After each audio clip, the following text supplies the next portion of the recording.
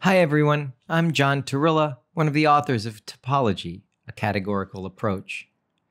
In this video, I'm going to talk about the fundamental group, and in particular, I'm going to talk about tools for computation. When I talk about Pi1, I think of two different functors. One from the category of pointed topological spaces to the category of groups that sends a space with a base point to the fundamental group based at that. And the functor that sends an unpointed topological space to its fundamental groupoid.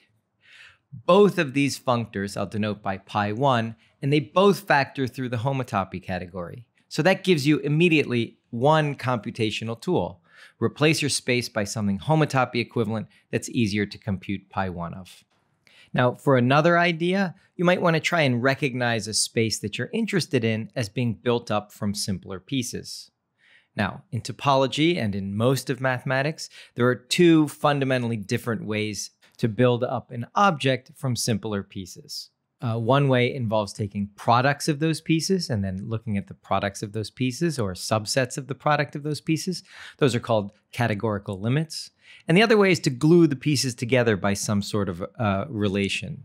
That's the same as taking quotients of the disjoint union, and those are called categorical colimits. And so it's natural when you're trying to understand an invariant like pi1 to understand the extent to which it preserves limits or colimits, because then you can compute the invariant on complicated objects by computing it on the simpler objects that comprise it. Now, to get started with this idea, let me point out a very general fact, and that's the representable functors preserve limits. That is, for any category C and any object X in that category, the functor from C to sets defined by sending an object Y to the set of maps from X to Y preserves limits. The reason representable functors preserve limits is practically the definition of a limit. To get the idea, you can look at products, for example, and compare the morphisms from X into a product with the product of the morphisms of X into the constituent parts. So uh, on the left-hand side, if you have a map from X into the product of A and B, then you can compose it with the projections to get a map from X into A and a map from X into B. On the other hand, if you have a map from X into A and X into B, the universal property, the definition of the product tells you you have a, a unique map from X into the product making the diagram commute. And so if we view the fundamental group pi1 as homotopy classes of based maps out of the circle, then it's a representable functor and therefore it preserves limits. But the limits that pi1 preserves from this perspective are limits in the homotopy category. And you might ask reasonably, what even are limits in the homotopy category? Or another question is, does pi1 preserve limits in the category of topological spaces? The answer is sometimes yes and sometimes no. So one fact that you can prove, it requires a proof, it doesn't follow from anything I've said so far, is that pi1 preserves products. But pi1 does not preserve all limits in the category of topological spaces. Now, the problem, if you want to call it a problem, is that passing from the category of topological spaces to the homotopy category of topological spaces does not preserve limits. And so if you think of the functor pi1 as being factored first as the functor that sends a space to its representative in the homotopy category, followed by the representable functor represented by uh, the circle S1, then the second part of that factorization does preserve limits, but the first part of that factorization does not preserve limits. Let me give you an example. Uh, consider the diagram that maps the disk into the sphere as the upper hemisphere and as the lower hemisphere. This diagram is homotopy equivalent to the map that sends a point to the base point of the sphere and another point to the base point of the sphere, uh, because the disk is homotopy equivalent to the point. But now let's take the limit of these two diagrams in the category of topological spaces. In this case, it's the pullback. Uh, the pullback of the diagram with the disks is the circle, and the pullback of the diagram with the points is just the point. And so two diagrams that are homotopy equivalent have limits that are not homotopy equivalent. And so you see, uh, homotopy does not behave very well with limits. And you might ask yourself, well, what about colimits? I think it's uh, helpful to take a step back and just ask the more general question. If you have a representable functor, how do representable functors behave with respect to colimits? And the answer is, in general, not very well. You can see this just by looking at coproducts. You might compare morphisms from X into the coproduct of A and B with uh, the coproduct of maps from X into A and X into B. Generally, these two sets are very different. So, what kind of functors do preserve colimits, you ask? The answer is functors that are left adjoints.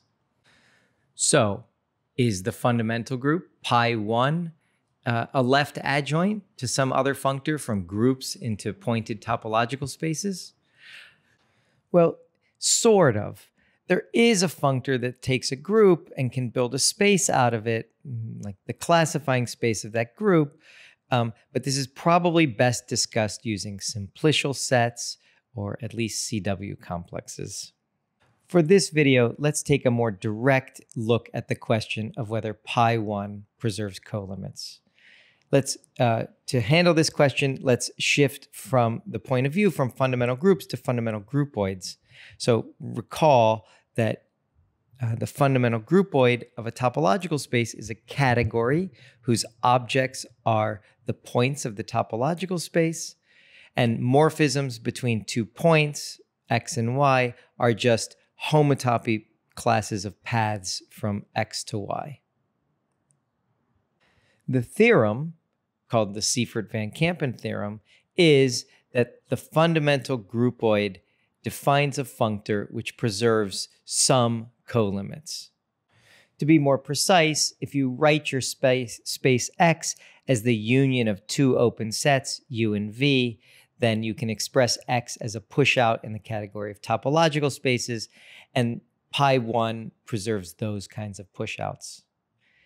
In order to prove it, you have to apply the fundamental groupoid functor to uh, the pushout diagram this gives you a commuting square, and then you have to prove that that commuting square of groupoids is actually a pushout in the category of groupoids, which means that for every groupoid G and every map from pi 1 of U into G and pi 1 of V into G that fits together with the maps from pi 1 of the intersection, that there's a unique map from pi 1 of the space X into G.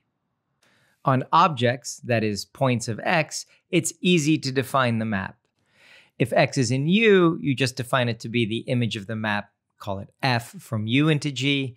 If x is in V, you send x to uh, the image of the map, call it G from V into G. Uh, and if x is in the intersection, uh, these two maps agree, so this definition is well defined. To define the map from pi1x into the groupoid G on morphisms, let x and y be two points in pi1 of x and consider a path from x to y. We have to send this path to a morphism in the groupoid G. Now, there's no question about what to do if that path between x and y lies entirely in U or in V. But to see the more general situation, let's take a step back and look at X decomposed as the union of two open sets, U and V. And consider a path between a point little x and a point little y.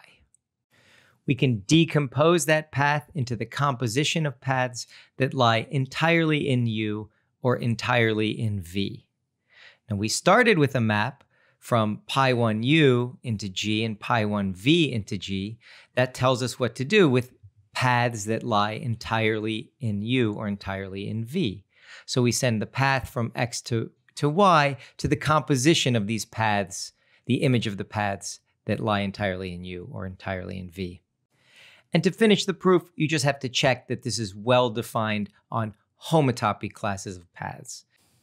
That is, that the construction that we just described will send two homotopic paths in X to the same morphism in the groupoid G.